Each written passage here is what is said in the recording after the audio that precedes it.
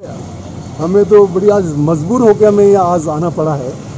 जब गहलोत सरकार ने जब घोषणा की थी कि हम गरीबों के पूरे हिस्से रहेंगे, गरीबों का कर्जा माफ़ करेंगे, गरीबों का बिजली बिजली बिल नहीं आएगा और हम पूरी इनको सुविधा देंगे। लेकिन आज हमें डेढ़ साल हो गया और डेढ़ साल में हमें धीरे धीरे हालात ऐसे हो गए कि आज मजबूरन हम लोगों को यहाँ आना पड़ा। इनकी घोषणा पत्र में था कि हम कर्जा माफ़ करेंगे, कर्जा माफ़ नहीं किया। इन्होंने बोला, गरीबों को रोज़गार देंगे, वो नहीं दिया। इन्होंने बोला कि बिजली बिल माफ़ करेंगे, वो नहीं किया। वो तो दूर की कौड़ी रहा। इन्होंने तो और, डबल बिल भेज दिए और डबल बिल के साथ में उन्होंने और एक, उन्होंने एक जब जारी किया। अगर 30 जून तक कोई भी व्यक्ति अगर बिल नहीं जमा कराएगा तो उस पर दो परसेंट पेनल्टी लगेगी। तो ये जनता बेचारी कहाँ जाएगी? आज हालात ये है कि कोविड नाइन्टीन की वजह से और ढाई महीने से आज पूरे जनता अपने घरों में कैद थी। और अभी कैद होते ही अभी जनता के पास में बिल आ रहे हैं, बिल आ रहे हैं तो जिसके, जिसका बिल आता हज़ार, उसका दो हज़ार है, जिसका दो हज़ार, उसका चार हज़ार है।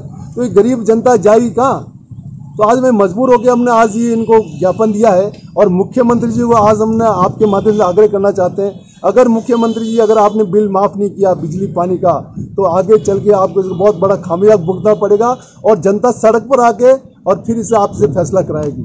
इसलिए मेरा निवेदन है कि आप लोग थोड़ा सचेत हो जाओ, क्योंकि आपने लोगों को, जनता को गुमराह करके आपने राज तो ले लिया, लेकिन राज लेने के बाद आप लोग बिल्कुल निरुकुश हो गए, कोई काम नहीं कर रहे हैं। आज जनता बेहताश है और सरकार मदमस्त हो रही है। और और साथ साथ ही हमें तो बड़ा अफसोस था, हमारे यहाँ के विधायक महोदय, खाली ये अखबारी लाल नेता बने हुए अखबारी लाल नेता। वहाँ पर बेटों ने पूरा आतंक मचा रखा, अखबारों में देखो, अखबारों के साथ टाइप कर दिया बाप की अलग खर्च आ रही है, बेटी की अलग आ रही है, अरे सचेत हो जाओ।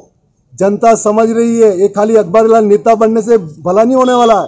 आज इस मैं बात करना चाहता हूँ हमारे विधायक महोदय की। अरे सांसद काम को सांसद करने दो, आज आपका विधायक काम है, वो काम करो ना। जनता तरह हो रही है, बिल माफ़ कराओ। जनता को आज जो क्वारंटाइन रखा है उनको खाना नहीं मिल रहा है, उनकी व्यवस्था नहीं रही, वो देखो। आपको वो काम तो खुद का काम तो छोड़ रहे हैं, कहावत है ना कि खुद का बेटा तो कवर अप है पड़ोसी को जाके फेरा दे रहे हैं। है? अरे शर्म करो, शर्म। विधायक महोदय, जनता ने आपको चुना तो जनता का थोड़ा भला करो।